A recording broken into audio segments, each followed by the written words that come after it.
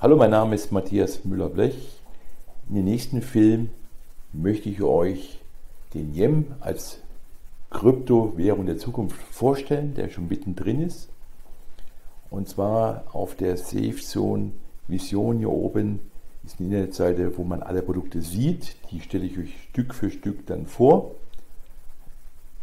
Und zwar halte ich den Yen selber als besseren Bitcoin, weil er stabil ist, was man vom Bitcoin nicht sagen kann, der schwankt zu stark. Bevor wir aber auf das Eingemachte gehen, bevor ich euch die Produkte nach und nach auf meinem YouTube-Kanal vorstelle, muss ich erstmal noch das Rechtliche euch zeigen. Und zwar spielen wir dafür eine Seite ein.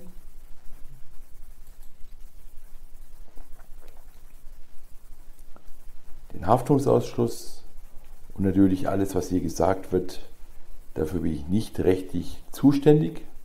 Alles andere Seiten, da lehne ich natürlich auch die Haftung vollkommen ab, was Voraussagen betreffen.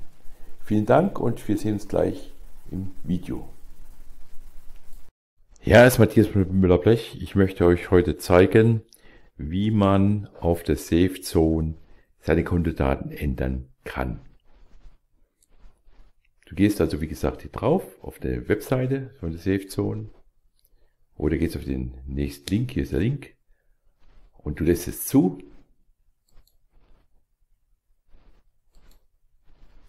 Du gehst auf Portfolio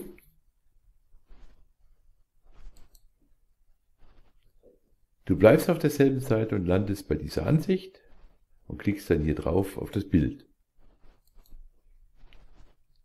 Du gehst auf Besuchen und klickst dann hier drauf, ne? bestätigst deine Zahl und klickst dann auf Je gut Josef. Entschuldigung, Jet Josef zu was. Sorry. Da kommst du auf diese Seite, du loggst dich ein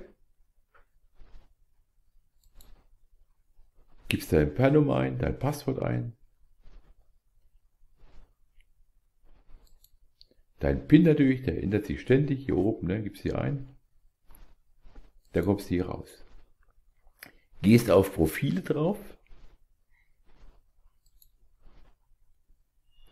gehst dann auf Account-Profile, wenn du das ändern möchtest, und speicherst das ab.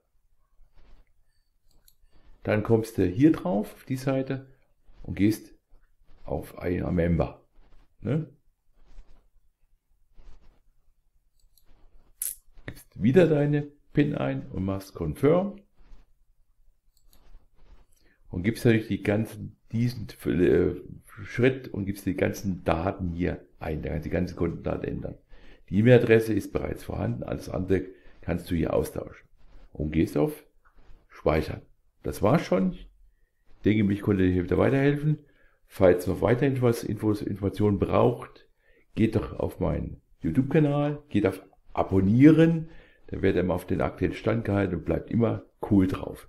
Vielen Dank für die Aufmerksamkeit, euer Matthias Müller-Blech.